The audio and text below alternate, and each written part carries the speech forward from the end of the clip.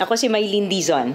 Kasama ako sa isa sa pinakamalaking rally ni VP Lenny sa Cavite. Itong nakaraang weekend, tao sa tao naman ang ginawa namin dahil ako'y naniniwala na kailangan talaga nating ipagmalaki sa ating mga kababayan ang mga nagawa ni Lenny mula nung siya'y nahalal na Vice President ng Pilipinas. First stop namin ay sa San Fernando Public Market and then sa Bulaon Resettlement Area.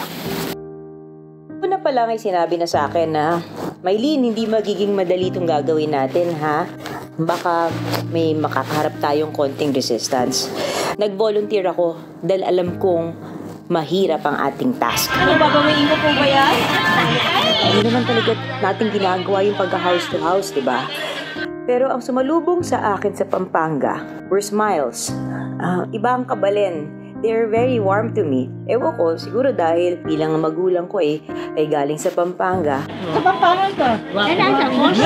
Favorite moment was may isang tindero sa palengke na may suot siyang mask ng ibang kandidato. Tapos suot ko yung aking kulay gray na Lenny Kiko mask. Nung kinakausap ko na siya, nakipagpalit siya sa akin ng mask.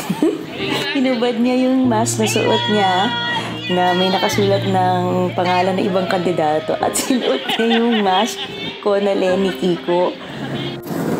Uulitin ko to. Mag-house to house ulit ako pagkatapos nitong Holy Week. And it's really worth it. Kahit na mahirap, kahit na mainit, kahit na pawis na pawis kami, kahit na malayo yung pupuntahan namin. Pag uwi namin, our hearts naman were full.